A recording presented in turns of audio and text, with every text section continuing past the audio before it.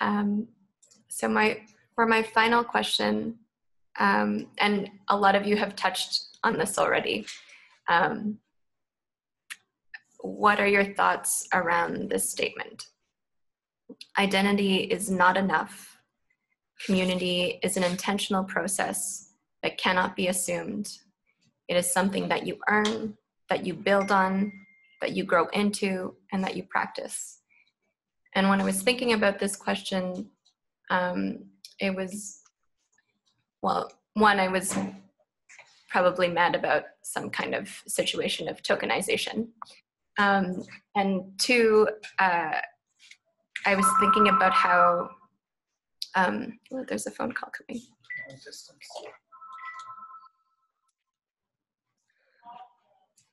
Okay. Um, I was thinking about how um, in I need the phone to be answered or something.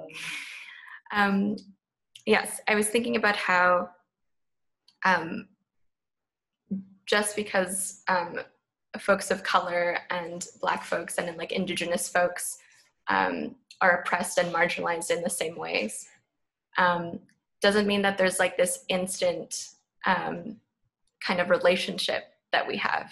Um, and, and all of you have kind of touched upon that.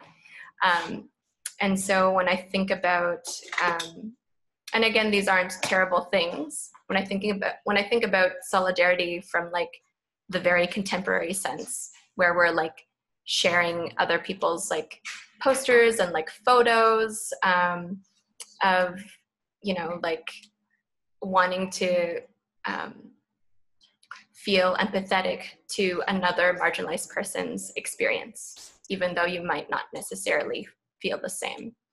Um, this is a good thing, but there's there's something beyond it, and we, as folks of color, as, as BIPOC, um, we constantly, um, or at least from what I've been seeing, we've constantly been telling white folks, this is how you should be doing things. Um, and these are the right ways of doing it, and these are the wrong ways of doing it. Um, but everyone kind of have has their own sets of how to navigate those spaces. Um, and their own sets of like what triggers them. Um, and so it's it's confusing. Um, and uh, you know in the past like not just in the past three weeks over the past little bit i've been kind of delving in and questioning um, whether uh, my solidarity with um, Black folks is legitimate. What relationships do I have in my life um, that are genuinely um, in towards like a pathway of true solidarity? Um, and what is solidarity in its like how people have perceptions of like its purest form, um, which is in itself kind of oppressive. Um, anyways, I'll stop there. and then maybe have you guys respond to that. Andy, sorry, could you drop the statement in the box? Yeah, sure. Thanks. I just need to think on it for two seconds. so I guess I can go in the meantime if that's okay. Mm-hmm. Sure. Um, so I think this is a really beautiful and important question and it's one I've again been grappling with for a while. And this has a lot to do again with my job. Um, so I think after that experience of kind of like, um, and I guess for as a bit of context to folks, I was um, leading uh, the federal government's engagement with Indigenous folks on the development of a new policy. Um, so for a while, I was really like liaising with a lot of Indigenous groups at the national, regional, local levels, um, going into communities and so on, and really, really, really grappling with what it means to be a settler um, and to be a Black woman settler. Um, and I really understood that, you know, my identity as a Black woman is not enough. Um, in order to really build those those kinds of relationships that are built on trust especially when you are again representing something that has caused so much harm. So I felt as though I really had to question whether or not I was building um, real relationships, whether or not I was actually acting from a place of solidarity. And I realized that I had to take a step back and really understand that solidarity is rooted in relationships and that's where that whole idea for the exhibition really came from because i understood like if i want to really question what it means to be here on this land in this moment i have to build relationships right now and i have to build them in ways that are are rooted in a, a kind of desire to understand uh, one another and to to really just be with one another. So, really fundamentally shifting the ways in which we um, understand when and where we come together. And that's where I was talking about, like, not only around oppression, but also around pleasure, around joy. Um, and we don't get that often. So, one of the things that we did, for example, was to organize a, a feast that was just um, for Black and Indigenous women and Two Spirit folks and it was amazing. Um, I felt as though I was in a position to really facilitate that kind of conversation because it was going to be also facilitated conversation over dinner. And what I did instead was um, with the Carleton University Art Gallery, um, they were really supportive and like provided me with all the resources. We hired two facilitators who were more um, more skilled in kind of inter-community um, facilitation. So Muna Muhammad and um, Cole Poplinski. And they kind of organized um, the way in which the, the dinner would be set up. And they decided that there was going to be a sharing circle initially.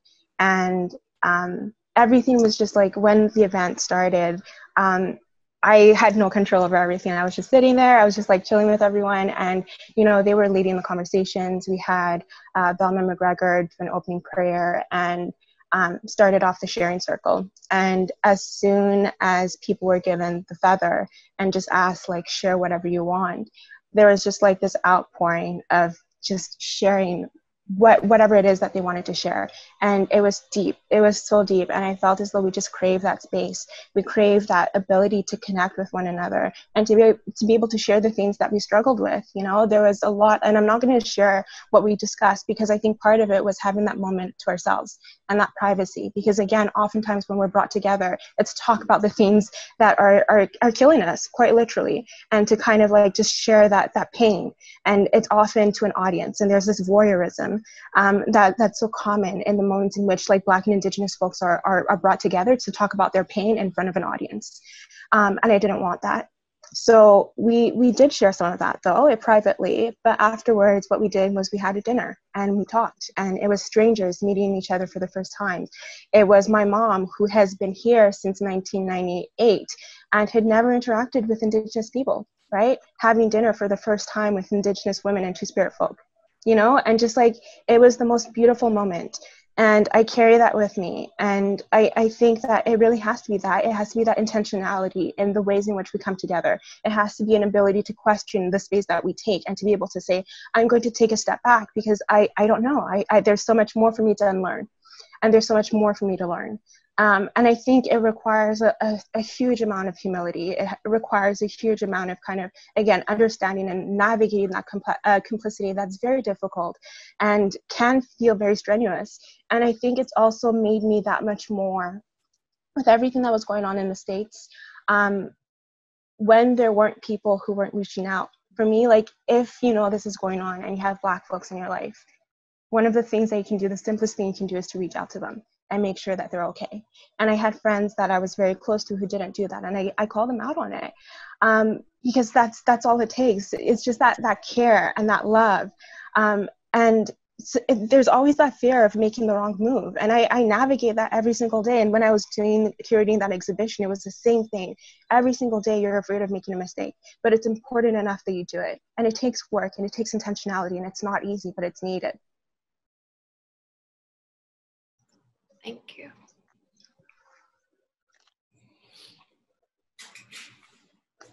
Oh man. Are you crying again? No. my God, Andy and I cry so much together in public. I love it. True. Um, okay, so identity. I think I think the whole issue of identity is so interesting because because the one statement that I think about when I think about identity is I don't know. There's so much that I don't know. There's so much that a lot of us don't know. about our stories. And again, as as humans and as artists, what makes us who we are is our stories, our specific, particular individual stories. And over the course of a lifetime, you you learn the story, you create the story, you accumulate, you research, you accumulate information, and in doing so, it's an act of proprioception. So you're you're geolocating yourself based on my mother's story, uh, Andy's story, my son's story. Where am I? And my position shifts as I learn more and more about those around us. And so, again, this relates to what Hannah was saying about Kapwa and about the surface tension that exists, understanding where I am in relation to everyone else, to um, to other people's cultures as well, to the to the dominant culture that we are the the Kool-Aid is being served to us out of our taps daily. I, I think that in order to get like cultural clarity and personal clarity, we are just we're on a road which is about which is constant practice of collecting information about others in order to understand where we are in relation to other people's stories. And so, in that way, you know, as Cozy was saying, as Hannah was saying, like we don't exist without each other. Um, and in the same way, you know, a lot of um, societal conventions don't exist. Black does not exist without brown or white. Um, we these differences don't exist if we don't all exist in relation to each other and so the the task of constructing identity i think is about learning and listening and researching and un, and therefore understanding each other and anybody that you speak to can be part can be incorporated into your story and your practice of learning who it is that you are and what what the details of your own story. Our stories change every day. Every day we change. And so education needs to be a part of that. And as cozy was saying conversations with everybody are part of that. How we how we respond to others and how we how we reflect upon the in, the stories that we hear they all go into our little satchels into our little file folders of who we are. Um, and who we are culturally. I mean i feel like as a child of the diaspora there's so much that i don't know. There was so much that was erased because assimilation was really important and it's a great shame for me um, and for a lot of a lot of uh, diasporic people is that there's so much that I don't know about my family, and not it not not the fault of any of my uh, my family. Um, as I said, the the basic business of living um, takes up a lot of room. And so later in my life, I'm almost 50, is when I'm actually like trying to learn about who I am, who my family is, what it means to be Filipina, because I'm a I'm a hybrid. I'm a cultural hybrid. How how do we do that without listening and without researching and without finding the information and and understanding? Understanding others and therefore understanding ourselves. There's there are no categories. I mean we've we're all multi hyphenates now.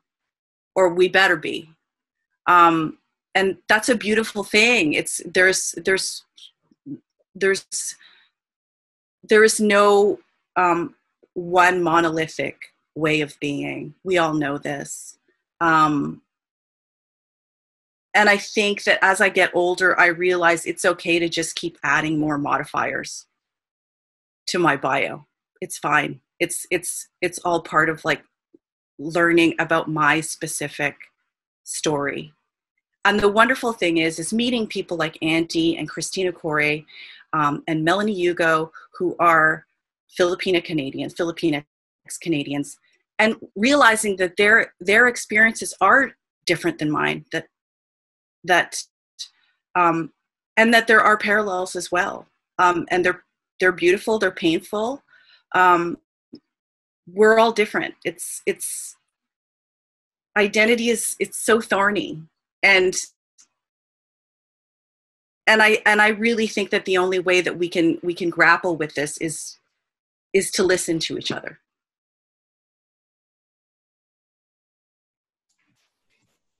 Thank you, Marisa. sorry i went on i rambled No, no, it's wonderful. It's wonderful. so I'll I'll I'll go. Um, uh, so for me, I, I kind of wanted to um, maybe the for the first part of your statement was identity is not enough, um, and I that really resonates with me because um, I come from the perspective where I didn't know I was a brown person until I start I became a photographer and I went into these like all white spaces um, for you know like the places that I work for. Um, um, and I, I was just so confused it was like I was in a haze and then when I started reading about it and when I started reading about you know um, all these intersections of why people treated me the way I was or why people treated me um, was because of the way I looked, because of X, Y, and Z. I was just angry all the time. Um, and I was, you know, like I was very young and I was trying to sense make um, with my friends who, and my husband who's been experiencing all of those intersections growing up in America. Um, and the, my, my friend who is a reporter, who's a Filipino American reporter, she's like, honey, that's called critical thinking. And I was not you know i was not aware th- about all these things and i didn't have the language to articulate these things and at first i was just very upset and actually the first people who upset me were actually brown people too you know brown liberals because they expected me to know um, know about all these isms that I just didn't know. This was not part of my curriculum. This was not part of how I was educated. You know, they were shaming me for listening to white people music or loving that, you know, and I was just like, I, I don't know, I just like that. You know, it, it was just, it was, I was so confused because I was also being othered in, in those spaces with people who I thought w- would be safe for me. Um, and and so there was a point in in time where I was just like, fuck that, you know, um, fuck all of that, you know, fuck liberal Western culture, because they aren't actually as inclusive as they pretend to be, you know, like they they want me to take on um, the narratives that they they want, but they don't actually include um, experiences of people that aren't part of their experience. There, it felt like they had like some, you know, um, oppression Olympics where, oh, but my experience is this and that. And I was just like, I don't know, you know, I, I, I don't know. And it was very hard. And I, I had a hard time with that because I felt like it was as exclusionary as like it was the most exclusionary thing ever because it was the people who I thought would keep me safe and who would walk me through it, but instead they treated me like I was a dumb person for not internalizing that. Um, and it took me years because i had to translate that you know i had to read western canons of identity politics and try to trans like form a translation for how that applies to where i'm coming from to my background to the people that i knew. Um, and i had to sort of like find a way to include different experiences to those canons um, that are you know seen by western liberals as sort of bulletproof or infallible.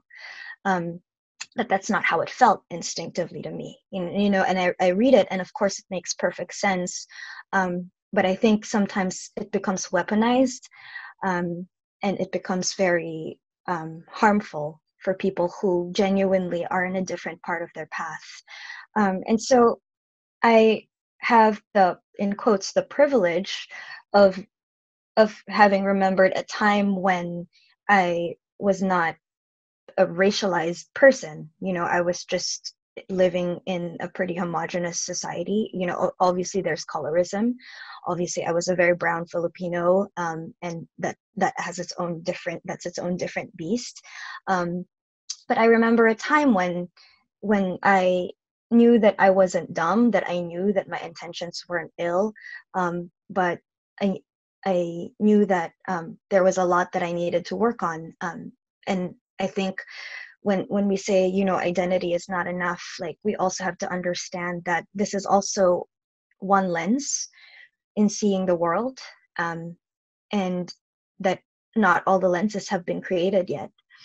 Um, we have the capacity to include more experiences. We have the capacity to take in um, narratives that aren't simple, um, and and we're doing a disservice to our sense of mission when we when we oversimplify and um, and we try to make systems um, that sort of put people in boxes that they don't belong in and ask them to fit in those boxes. Um, and so for me, I came to a point, um, obviously I'm not there anymore, but there was a point where I was just like, I don't want to engage in this anymore. You know what? I exist. I will be excellent in my work, and that will be enough. I will take that space, and I don't have to talk to other people about it. Um, and you know, obviously, I know that there's flaws in that too, because you you do need to do the work of of engaging people of challenging beliefs of you know um, adding different perspectives that is important work too. But there was a time where i was so exhausted by all this talk about identity about you know gender um, that i could not quite articulate in the way that made sense for me because it wasn't i didn't grow up in western society.